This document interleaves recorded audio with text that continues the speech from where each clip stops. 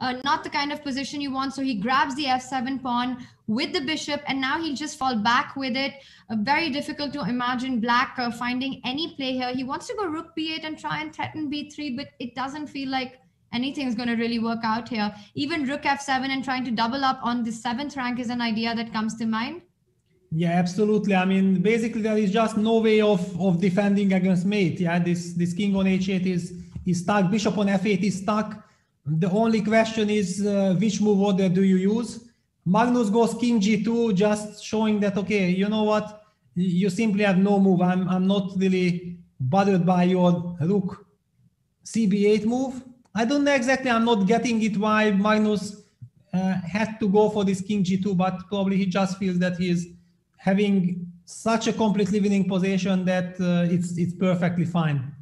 It's like it's so winning that he just wants to enjoy it a bit longer. Now rook b uh, rook b8 on the board. Rook f7 feels like a move that uh, that comes to my mind instantly because it also defends the idea against rook takes b3. The f8 bishop is hanging. He goes for it. It not only attacks the f6 pawn, but imagine rook a1, rook a7, and there's no defense against the mate on h7. I think he's going to go rook a1 now. He plays it and rook a7. How are you? This is going to be a resign. Uh, resigns from Ian Nepomniachtchi very, very soon. Yeah, I mean, rook takes bc, rook a7, rook g8, and then you move your rook.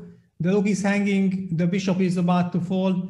That's it. I mean, this is completely lost. And we have to get ready, and Ian has to get ready as well for for the playoff because okay, yeah, he resigns. That's it. He resigns, Peter. Yeah, he resigns. He resigns, and and I think this is this is the right way. I mean, you just have to, if it's a completely lost position, just throw in the towels forget, try to forget about it as as quickly as possible. I, I don't really think that this game four is hunting him. It's it's much more the missed chance in in game three to seal the match, because knowing that uh, what Magnus is capable of you you let Magnus the champion back in the game, and uh, now it's it's really Ian only has a chance if he plays uh, absolutely his A game. I mean.